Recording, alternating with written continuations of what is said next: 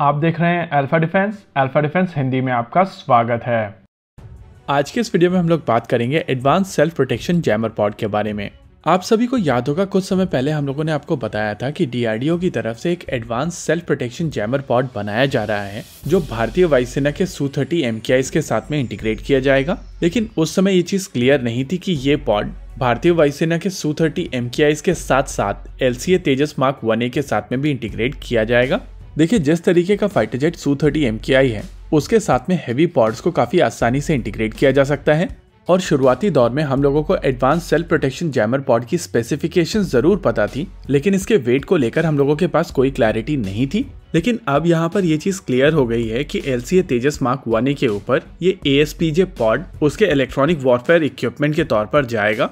अगर इस पॉड के कंपोनेंट्स की बात की जाए तो इसमें एक 16 एलिमेंट एक्टिव वाले ट्रांसमीटर रिसीवर यूनिट होने वाला है। दूसरा, इसके अंदर इंडिजिनियसली डिज़ाइन किया हुआ एक कूलिंग सिस्टम होगा और तीसरा ईआरपी e मॉड्यूल होगा, जो एक्साइटर रिसीवर प्रोसेसर के तौर पर काम करेगा। इस सिस्टम को लेकर हमारे पास एक एक्सक्लूसिव जानकारी है, जो हम आपके साथ में शेयर करेंगे। वीडियो में आगे हम लोग एक इंटरव्यू प्ले करने वाले हैं। जो हम लोगों को एरो इंडिया 2023 में मिला था और इस वीडियो के दौरान आपको ये अपडेट पूरी तरीके से समझ में आ जाएगा। वैसे ये इंटरव्यू इंग्लिश में है और जिन लोगों को ट्रांसलेशन चाहिए, उन लोगों को समरी वीडियो के अंत में मिल जाएगी। ये consist of receiver and self protection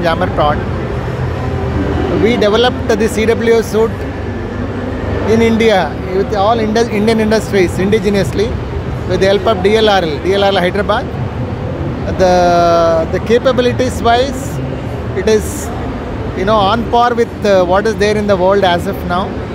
And it uh, completely developed with indigenous technologies with indian industries. Now the de development is completed qualification testing is completed. The system is undergoing developmental flight evaluation on lca and hopefully we'll complete all the developmental trials by june. And then we go for user trials by december so by that time uh, we come to a stage of uh, you know production ready EW suit and we are also targeting complete uh, qualification by end of the year. So we'll be ready to deploy on LCA Mark 1 aircraft by end uh, December. So this one, this one is for Mark 1A. Mark 1 aircraft, yes. And uh, like regarding the weight, what's the weight of the system? The ASPJ is about uh, 130 kgs including the adapter and RWR is about uh, 25 kgs. So whole EWS suit is around some 150 kgs. So this could be placed on the wingtips or? It's a wingtip part, yes. yes. And, uh, but we do not have a hard point uh, on LCM Mark 1A on the wingtip. So will that be on the outer part? No, it is not the wing uh, tip. Uh, in the sense there is a pylon station in the wingtip, okay. outboard station. Yeah. So not the wingtip exactly. Wingtip has got RWR antennas but the outboard station of LCA will carry the jammer part. Okay. Outboard station.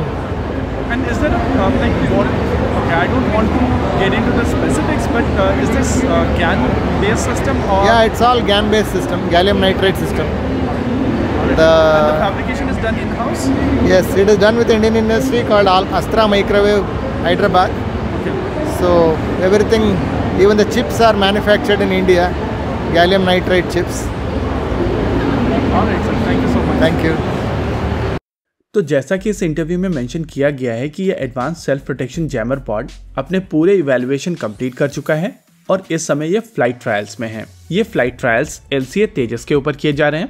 Most likely इस साल के अंत तक इसके सारे trials complete कर लिए जाएँगे और ट्रायल्स कंप्लीट करने के बाद में ये प्रोडक्शन में चला जाएगा। इस पॉड को पूरी तरीके से इंडिजिनियसली डिज़ाइन और डेवलप किया जा रहा है और इसमें यूज़ होने वाले gallium nitride TR modules Astra Microwave की तरफ़ से बनाए जा रहे हैं। इसी के साथ आज के इस वीडियो में रखते हैं केवल इतना ही। वीडियो को अंत तक देखने के लिए धन्यवाद। देखते रहिए अल्फ़ा डिफेंस जय हिंद।